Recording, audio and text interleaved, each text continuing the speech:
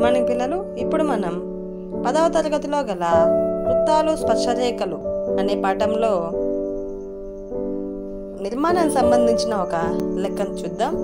నాలుగు సెంటీమీటర్ల వ్యాసార్థంగా గల వృత్తానికి ఆరు సెంటీమీటర్ల వ్యాసార్థంగా గల ఏకకేంద్ర వృత్తంపై గల బిందువు నుండి స్పర్శరేఖను గీయండి.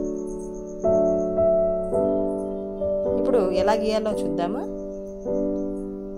నాలుగు సెంటీమీటర్లు ఆరు సెంటీమీటర్లు. వ్యాసార్థాలుగా గల రెండు ఏకకేంద్ర వృత్తాలను గీద్దాం.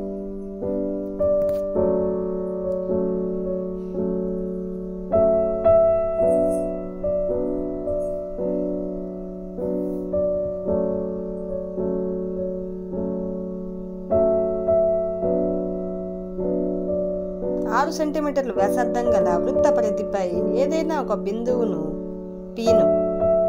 గుర్తించి ఓపీని కలుపుదాం.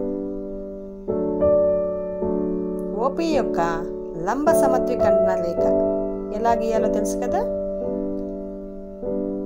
గీద్దాం.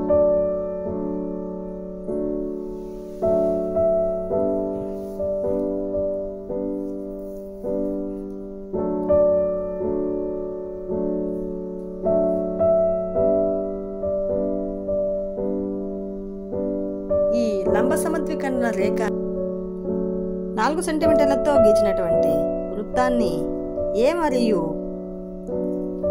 ఏ వన్ బిందువుల వద్ద ఖండించింది?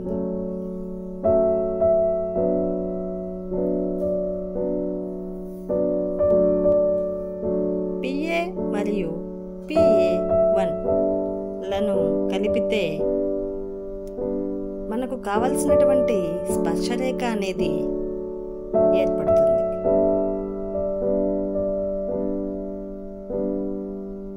దీనిని ఒక సోపాన క్రమంలో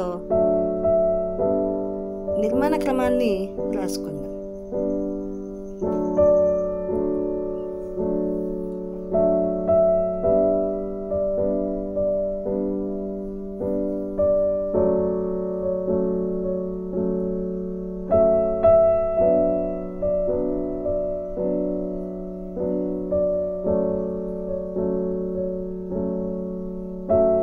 تھینک یو